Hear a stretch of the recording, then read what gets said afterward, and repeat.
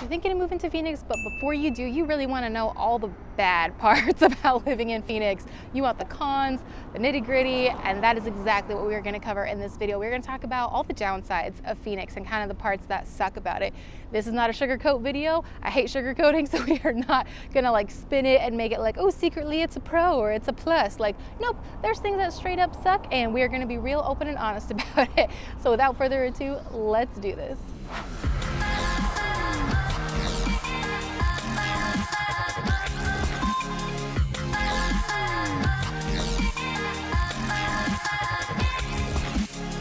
Your first time to the channel and you want to know everything there is to know about living in Phoenix, Arizona and all the surrounding areas, then go ahead and subscribe and click that bell for notifications so you can be the first to know about what is happening in the Phoenix market. My name is Samantha. My team and I help people every single day, just like you, make their move to Phoenix, Arizona. We absolutely love it. So if you are thinking of making a move, if you've got questions, please reach out, give us a call, shoot us a text, send us an email, or schedule a Zoom call with us. All of that is linked in the description below. We would love to hear from you. We'd love to connect with you. Reach out. We are here and happy to help whether you're making a move in nine days or nine months. Just reach out. We would love to make uh, your move out here nice and smooth and easy. So like I said, in this video, we're gonna be covering 10 of the downsides of living in Phoenix. I'm just tripping over something there, sorry. All right, 10 of the downsides of living in Phoenix. Uh, like I said, there are real, real negatives to it. Uh, obviously, like sunshine and heat is gonna be like one of them as I'm like blinded trying to look into the camera right now. Uh, so there are definite uh, negatives and I really want to be open and honest. Even though I've lived here my whole life and I love this city, there are things that really suck and that I hate about it. And I think it's important that you guys know it. So we're gonna head back to the office and go over this list of 10 things. So let's do it. Phoenix is definitely an incredible place to live and it has a lot to offer. I've lived here my whole life, born and raised, I absolutely love the city, but there are definitely some drawbacks and some negatives about living here for sure. So if you are thinking of moving to the Phoenix area, these are 10 things that you might wanna know before moving here. So without further ado, let's start with the first one. First is obviously the weather. Now for spring, summer, and late fall, the weather is actually really nice. You can be outside, enjoy the sun. Uh, you can wear t-shirts on Christmas and stuff like that, all that good stuff. But in the summer, from about June to September, it is brutally hot. Like burn your hands off in your car, stay inside, avoid the sun, hot. Uh, people will say that is a dry heat. Um, so it's not that bad. I call BS. 115 degrees is still 115 degrees. Like, yes, it is nice that it's not humid here, but it is still very, very hot. It's like walking into an oven when you open up your door in the middle of the summer. So if you are thinking moving to Phoenix, you need to be aware of that. It is really, really hot in the summers. They are no joke. People will, you know, like the joke about like cooking an egg on the sidewalk or um, cooking like uh, cookies on a sheet on like the hood of your car when it's sitting out there in the summer. Um, that's not a joke here. I did that as a kid. That is an actual thing that you can do and it will cook. It is that hot. You'll see memes about people like putting pot holders on their hands so they can like hold their steering wheel and drive so they don't burn themselves in their car. So just be prepared. If you're not used to the heat, that is something that you should definitely know about before you move here. Another thing about Phoenix that's not so great, well, again, in my opinion, these are all opinions, uh, but that is there is a lot of cookie cutter neighborhoods. You're gonna see there's a lot of uh, gravel, there's a lot of desert landscaping and rock and cactus and stuff like that because yes, we are a desert and so it is more cost effective and saves on water to have that desert landscaping instead of grass and trees and stuff like that. But whenever I'm visiting friends or family or traveling to different parts of the country, I get a little jealous, like everything is so green and beautiful and stuff like that. There are definitely places like that here if you're looking um, for kind of more green California feel like Gilbert and Chandler, um, even parts of uh, like kind of more south or central Scottsdale will have that feel. Um, but Phoenix in general, it's mostly kind of desert landscaping. Like I said, a lot of cookie cutter homes, um, especially kind of in the late 90s and early 2000s, you're gonna see a lot of stucco, a lot of tile roofs and stuff like that. So if that's kind of not your vibe and not what you're looking for, again, there are some homes and communities that look different, but for the most part, that's the majority of the homes here in the Phoenix area. All right, number three, this is a big one, is our public transportation. It sucks. like there's no there's no other way around it. Our public transportation is really not up to par, uh, unfortunately. So there are a couple places where we've got uh, the light rail, which will run through parts of downtown Phoenix and parts of Tempe and stuff like that. So downtown Phoenix, Tempe, and Old Town Scottsdale are three parts of the city that are really walkable uh, and stuff like that. But for the rest of the Phoenix area and all the surrounding areas, the public transportation really is not that great. It's just kind of a bunch of buses, that are not super on time, not super slow, and don't even go to all the areas that you might need to get to. So if you are thinking about moving to Phoenix, just be aware that public transportation is not super great. Most people who live here or move here have a vehicle because it's pretty spread out and you're gonna need a way to get to and from places. They do have Uber and Lyft, uh, but again, it can get pricey because you're going to be traveling farther distances for the most part. Number four is car registration. So uh, I learned that it's actually a lot cheaper in different states. So if you're in a state where your car registration is cheap, uh, just beware it's not super cheap here in Arizona. So you're gonna have to get your registration renewed every two years for your car and it is going to be most likely several hundred dollars. So in Arizona, when they look at your registration, they are going to charge $2.80 on every $100 of assessed value for a car if it is new and $2.89 on every $100 of assessed value of the car if it is a used vehicle. I know that's a lot of math, so we'll give you a quick example. So if you have a car that is valued at $30,000, uh, the registration fee for that car is going to be around $167. Again, you've got to pay that every two years to keep it renewed. So that is kind of a bummer as it is more expensive. Um, but the good news is they used a lot of that money to take care of the roads. Um, something I noticed in different places of the US outside of the Phoenix area is like the roads suck in a lot of places. In Phoenix, they are um, really nice asphalt. There's not a lot of potholes. It's really smooth. They're always redoing and repaving the roads. They're building lots of highways and stuff like that. So the roads here are super great, but you do have to pay for it uh, with that uh, car registration fee.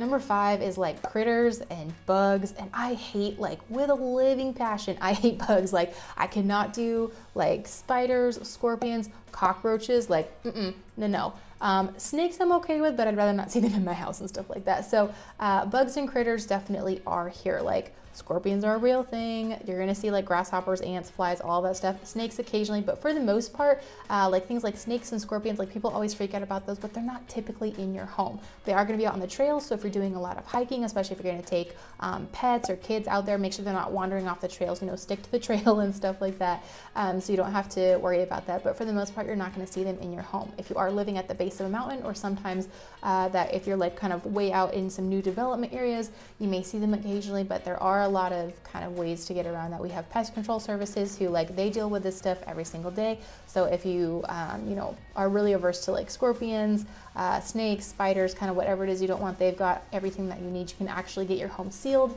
uh, to make sure that you don't have any scorpions inside of your home and stuff like that. So there are options, but just even seeing them, they are here and you see them occasionally and it's not something I'm a fan of. Another thing is there's not a ton of water and lakes and stuff like that. Like I keep saying, yes, Phoenix is a desert and I should have known, it comes with the territory.